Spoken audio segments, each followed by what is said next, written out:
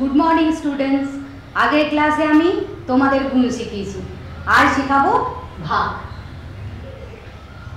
মানে তোমরা দেখেছ, যোগের বিপরীত নিয়ম কি? বিয়োগ। আর গুণের হচ্ছে বিপরীত নিয়ম ভাগ। আজকে আমরা ভাগ শিখব। ভাগ শেখার আগে এবারে কি করতে হবে? ভাগের চিহ্ন শিখতে হবে। ভাগের চিহ্ন দেখো। এটা হচ্ছে ভাজিত চিহ্ন। তাহলে ভাগের এটা ভাগ, ভাগের চিহ্ন এটা এটা আমরা ভাজিত করি। ভাগ করতে গেলে কি কি লাগে? ভাজ্য, ভাজক দুটো লাগে। এবার আমাদেরকে জানতে হবে যে তোমার যে সংখ্যাকে ভাগ করা হয়, যে সংখ্যাকে ভাগ করা হয়, তাকে ভাজ্য বলে। যে সংখ্যা দিয়ে বা দ্বারা ভাগ করা হয়, তাকে ভাজক বলে। ভাগ করে যে ফল পাওয়া যায়, তাকে ভাগফল বলে। আর ভাগের শেষে যেটা বাকি থাকে বা অবশিষ্ট থাকে, তাকে আমরা ভাগশেষ বলে থাকি। এবার দেখো, ভাগ শিখতে গেলে আমাদের নামটা আর বিয়োগ দুটো ভালোভাবে জানতে হবে। তাহলে আমরা ভাগ করতে পারব। এবার তোমরা প্রশ্নমালা দশ পেজ নাম্বার ফর্টি থ্রি বের করো। দেখো, মুখে মুখে উত্তর দাও। যোগের বিপরীত বিয়োগ হলে বিপরীত কি? তোমাদের এখনই আমরা আমি বললাম যে যোগের বিপরীত হচ্ছে বিয়োগ, গুণের বিপরীত হচ্ছে ভাগ। তাহলে অ্যান্সারটা কি হবে? যোগের বিপরীত বিয়োগ হলে গুণের বিপরীত কি? গুণের বিপরীত হলো ভাগ। ভাজ্য ও ভাজকের মধ্যে কোনটি বড়? এবার তোমাদের একটা আমি উদাহরণ দিয়ে দেখিয়ে দিই, তারপর এটা করতে পারবে। দেখো এটা ভাজ্য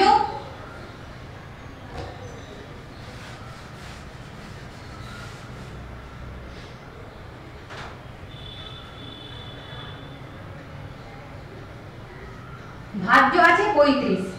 আর ভাজক আমি লিখলাম এখানে চার। চার। এবারে কি করতে হবে? না, চারকে আমরা চারের চারের ঘর নামটা আমাদের বলতে হবে। বলো তোমরা, চারের ঘর নামটা চার এককে চার চার দুই আট, তিন চারে বারো, চার চারে ষোলো, চার পাঁচে কুড়ি, চার ছয় চব্বিশ, চার সাতে আঠাশ, চার আটে বত্রিশ, চার নাম ছত্রিশ। ছত্রিশ হবে না, ছত্রিশ কেন হবে না? কারণ পঁয়ত্রিশের থেকে বড় হয়ে যাচ্ছে। তাহলে কি করতে হবে? চার, আটে বত্রিশ। এবার আমি কি করলাম? ভাগ মানে তোমাদের শিখতে হলে বিয়োগ ভালোভাবে জানতে হবে। এটা কি করতে হবে? বিয়োগ করতে হবে। আমি এখানে বিয়োগের চিহ্ন দিচ্ছি, কিন্তু তোমরা দেবে না। এবারে দেখো, পাঁচ, দুই, পাঁচ আছে, নিচে দুই আছে। পাঁচ থেকে দুই বাদ দাও। দুই, তিন, চার, পাঁচ। তিন।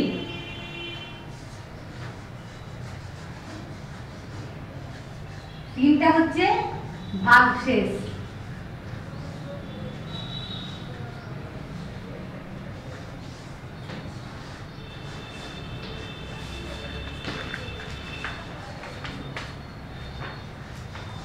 এবারে দেখো, এটা আমি তোমাদের করে দেখালাম। যে এক নম্বরে যত তোমাদের মৌখিক যে আছে সেগুলো অ্যান্সারগুলো এটার থেকে মানে দেখিয়ে দেখে আমি তোমাদের বোঝাতে পারব। সেই জন্য। কি বলেছে এবার দেখো, ভাজ্য ও ভাজকের মধ্যে কোনটি বড়?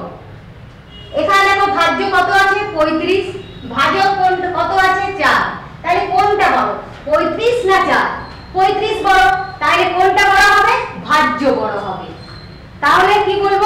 যে এটার অ্যান্সারটা কি হবে? ভাজ্য ও ভাজকের মধ্যে ভাজ্য বড় এবারে গয়ে এসো। যে সংখ্যাকে ভাগ করা হয়, তাকে কি বলে? যে সংখ্যাকে ভাগ করা হচ্ছে, দেখো আমি এখানে কোন সংখ্যাকে ভাগ করছি? পঁয়ত্রিশকে ভাগ করছি। তাহলে যে সংখ্যাকে ভাগ করা হয়, তাকে ভাজ্য বলে।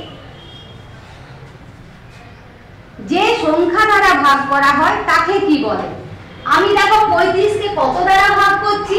চার দ্বারা ভাগ করছি। তাহলে চারটা কি? উপরে দেখো লেখা আছে ভাজক তাহলে যে সংখ্যা দ্বারা ভাগ করা হয়, তাকে ভাজক বলে। যে সংখ্যা দ্বারা ভাগ করা হয়, তাকে ভাজক বলে। এবার দেখো, দুটি সমান সংখ্যার ভাগফল কত? দুটি সমান সংখ্যার ভাগফল কত হবে? এক।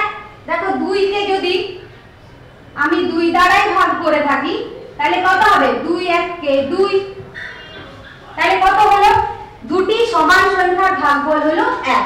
আমি আরেকটা উদাহরণ দিচ্ছি। তিনকে তিন দ্বারাই ভাগ করছি। তিন এককে তিন।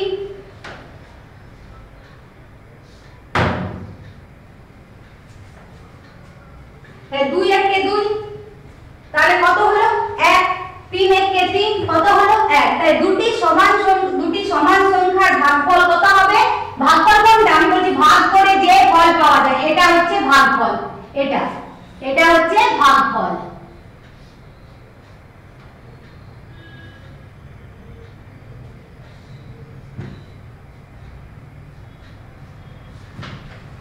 তাহলে দুটি সমান সংখ্যা যখন আমি ভাগ করব, তখন ভাগফল আসবে এক। দুই এককে দুই, তিন এককে তিন। তাহলে এক হলো ভাগফল। এবারে দেখো, সব ভাগের ক্ষেত্রে কি ভাগশেষ শূন্য হয়? না, সব ভাগের ক্ষেত্রে ভাগশেষ শূন্য হয় না। দেখো, এই ভাগগুলোর ক্ষেত্রে ভাগশেষ হয়ে গেল শূন্য। কিন্তু দেখো, এটাই কিন্তু ভাগশেষ শূন্য হলো না। ভাগশেষ কত হলো? তিন। চার আটটে বত্রিশ। এবারে তুমি বিয়োগ করলে তিন থাকল, তাহলে ভাগশেষ হলো তিন। ভাগ করে যা বাকি থাকে বা অবশিষ্ট থাকে, তাকে ভাগশেষ বলে। তাহলে এই ভাগের ভাগশেষ আছে, দেখো তিন হলো ভাগশেষ তাহলে ভাগ করার, তাহলে সব ভাগের ক্ষেত্রে কি ভাগশেষ শূন্য হয়? না, শূন্য হয় না। এই দুটো শূন্য হয়েছে, এটা হয়নি। তাহলে সব মানে সব ভাগের ক্ষেত্রে শূন্য হয় না। এবার হচ্ছে ভাগ করা, ভাগ করার পর যে ফল পাওয়া যায়, তাকে কি বলে? ভাগ করে যে ফল পাওয়া যায়, তাকে ভাগফল বলে। দেখো, এটার ভাগফল কত? আট। এই যে ভাগটা করলাম, ভাগফল কত? এক। তিন এক কে তিন, এটারও ভাগফল হলো এক। তাইলে ভাগ করে যে ফল পাওয়া যায়, তাকে আমরা বলি ভাগফল। যাকে ভাগ করা হয়, তাকে আমরা কি বলি? ভাজ্য। আর যা দিয়ে বা দ্বারা ভাগ করা হয়, তাকে আমরা বলি ভাজক এই ভাগে দেখো চার হচ্ছে ভাজক পঁয়ত্রিশ হচ্ছে ভাজ্য আট হচ্ছে ভাগফল আর তিন হচ্ছে ভাগশেষ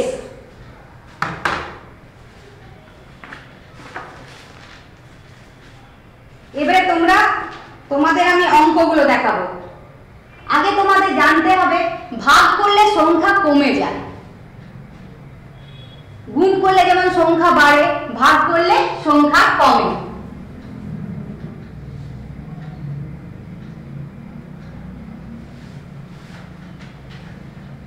আর আর আরেকটা তোমাদের জিনিস শিখিয়ে দিই যেমন শূন্য দিয়ে যদি কোনো সংখ্যাকে আমরা ভাগ করি, যেমন ধরো ছয়।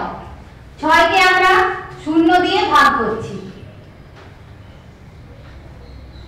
তাহলে কত হবে? ছয় শূন্য শূন্য, এটা শূন্যই হবে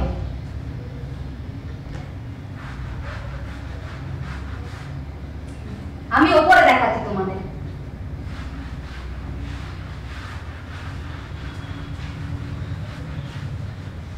দেখো ছয়কে আমরা যদি শূন্য দিয়ে ভাগ করে থাকি, তাহলে কত হবে? শূন্য। ছয় শূন্য শূন্য। আবার শূন্যকেও যদি আমরা ছয় দিয়ে ভাগ করে থাকি, তাহলে হবে শূন্য।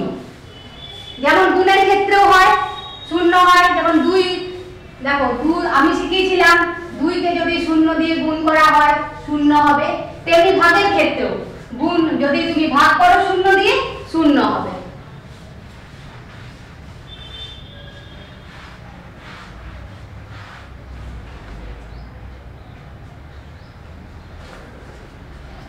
এবারে দুইয়ের একের অঙ্কটা দেখো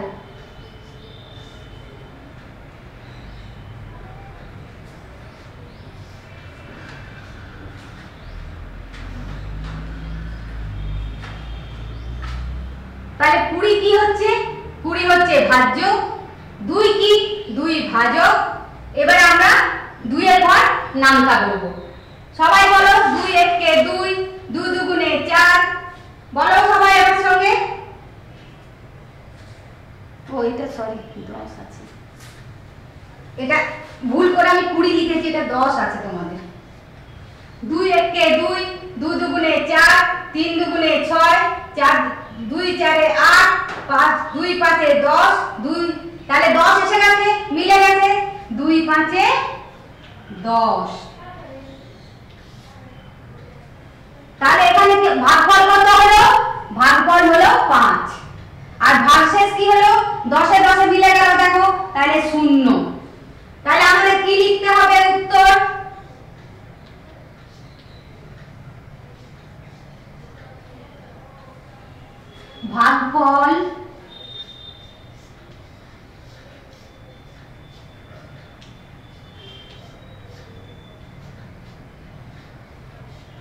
ভাগফল কত হলো?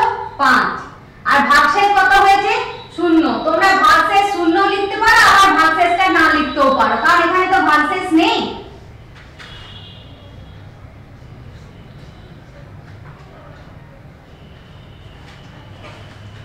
দেখো, শূন্য হলো। দুইয়ের কুড়ি পর্যন্ত আছে, সেগুলো সব অঙ্কগুলো করবে। তারপর দেখো ভাগফল ও ভাগশেষ, দুটোই বের করতে হবে।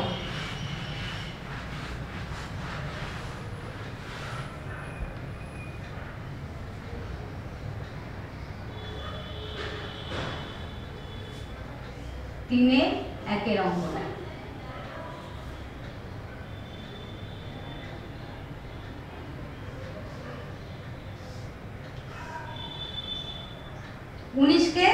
তিন দিয়ে ভাগ করতে হবে।